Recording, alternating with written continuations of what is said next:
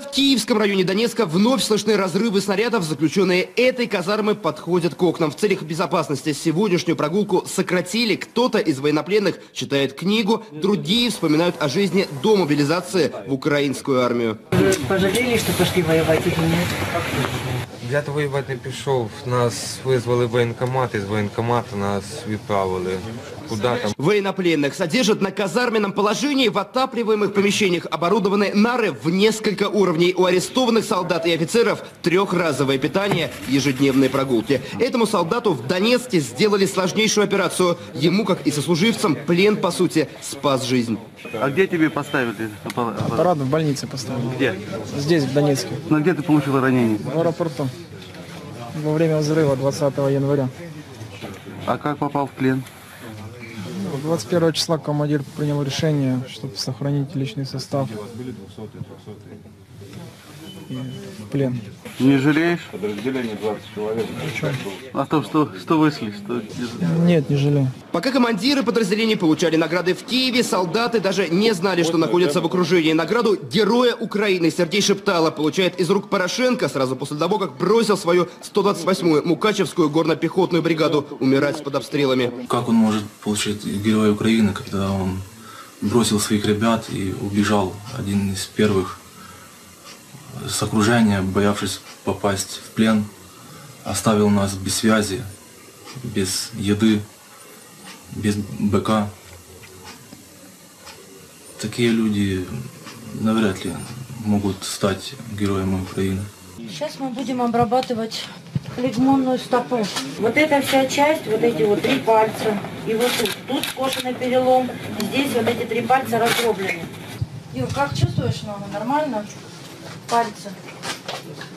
Здесь же содержатся легко раненые. В медчасти украинскими солдатами занимаются врачи. Тяжело раненых переводят на стационарное лечение в больнице. Александр, родом из Горловки, мобилизован в Киеве, в плен попал под Дебальцево. Воевать не хотел, но пришлось. Получил осколочное ранение. Потому что как бы очень много странностей. Почему именно вот, почему именно люди, которые жили здесь, так так стали опротивились там другой части Украины или почему другая часть Украины там опротивила там Востоку и во всем этом тоже виноваты политики, которые там разжигали этот огонь ненависти между людьми. Работал в какой сфере? Укртелеком экономист. Офисный планктон. А дети есть, да? Да, 12,7 Аня Вика.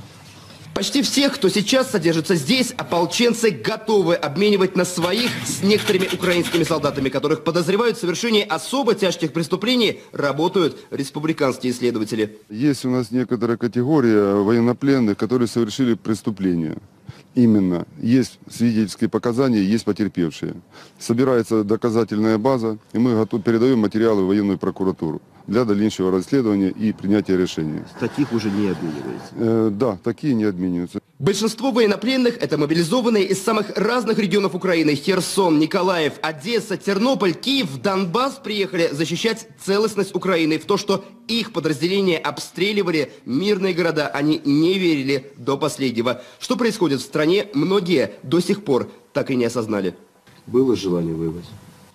Ну, коли я мобилизирован, то, наверное, не, не сильно. А вообще отношение к конфликту вот, как-то поменялось? Анализ еще проходит. Это потом в мемуарах напишем отношения. А командиры что говорили? То есть вы осознанно ехали сюда, то есть знали, что на территорию... Защищать Украину. Впрочем, некоторые офицеры начинают заметно нервничать, когда разговор заходит о вторжении украинских войск на Донбасс. Спрашивают у меня с Украины, спрашивают, что я пришел. Я что-то не пошел в Ростовскую область или там. Или в Челябинск. Да, Стас? 25-летний Евгений Чуднецов воевал в так называемом добровольческом отряде «Азов». Он демонстрирует татуировки на своем теле символикой гитлеровской Германии и подробно рассказывает о жизни и структуре ультранационалистического отряда. В составе самого полка были иностранцы, были шведы, э, были, видел, французы были, вот, э, были инструктора иностранные. Так вот, именно э, иностранцы, они пользовались иностранным вооружением. У них были винтовки иностранного образца, по-моему, FND 1000, если я не ошибаюсь. Э, У них были средства связи. Означает ли это, что они применяли это вооружение в сторону ополченцев? Ну, на этот вопрос логично, да, этот, что винтовка, она не для того, чтобы цветы поливать. Естественно, если это винтовка, то она для того, чтобы убивать. Всего в плен за последние несколько дней сдались около 300 человек.